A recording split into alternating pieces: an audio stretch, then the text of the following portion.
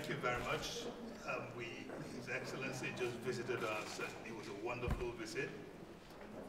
Um, I need to recall that in the uh, UN General Assembly of 2017, the Prime Minister of Cabo Verde said that the support for the International Criminal Court is an obligation for the present generation, an obligation they have future generations of humanity.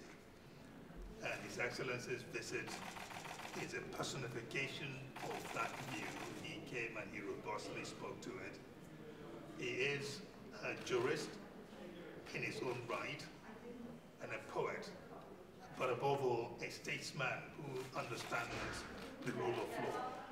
And he has shown that by action and his support for the court.